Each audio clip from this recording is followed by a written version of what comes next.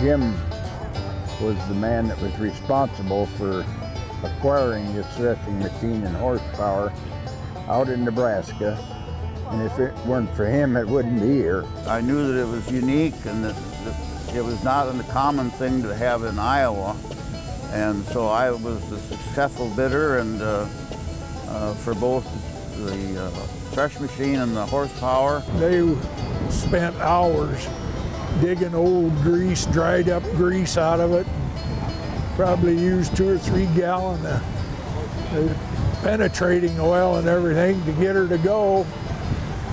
And finally we got it working and then we went to thrash. The way we try and operate it is the way it was originally set up to be operated. As the horses go around, that generates the power up to the machine. One or two men stand on the platform here. The farmers are on the wagons pitch the bundles onto these side pieces. The people on the platform cut the string, feed it in to the cylinder, which is the, the big cast iron drum inside the machine.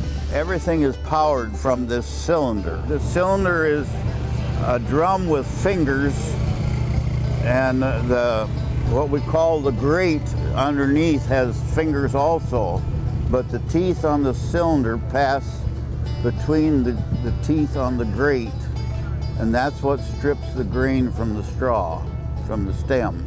There are belt pulleys that go around different pulleys. The size of the pulley determines the speed of whatever it's powering. This is the shaker arm that shakes the, the grain underneath.